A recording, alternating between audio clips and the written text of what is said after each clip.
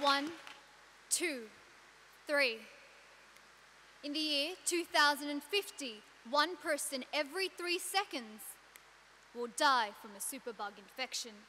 Superbugs are bacteria that are resistant to antibiotics.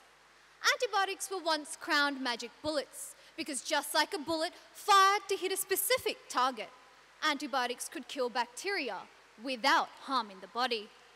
A world without antibiotics is an end to modern medicine as we know it. A simple sneeze has the potential to kill. Over time, our antibiotic arsenal has been depleted, and we are down to one last magic bullet polymyxins, an old relic from the 1950s whose defective aim leaves it unable to distinguish between bacteria and the body. Prolonged polymyxin use causes kidney damage, and the kidneys are two of the most important organs, filtering and removing waste and excess fluid through the urine. The challenge? Polymyxin-induced kidney damage is reversible in its early stages, but standard clinical tests are lacking with a long lag time between damage and identification of damage.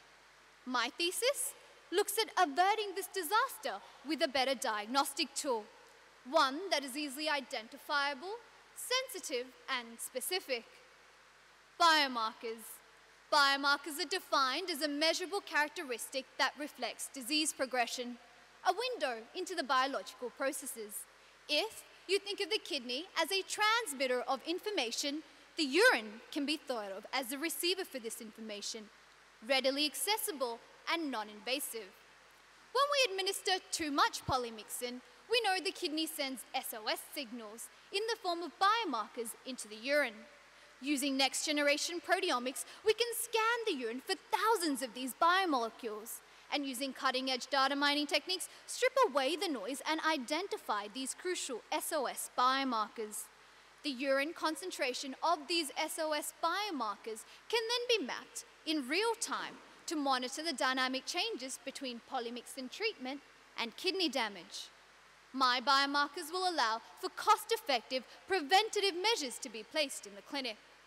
Polymyxins are the last line of defense against superbugs. In recalibrating polymyxins to only kill bacteria, we are safeguarding ourselves from our one and only magic bullet. We live in a world where antibiotic resistance is no longer a possibility, but a stark reality.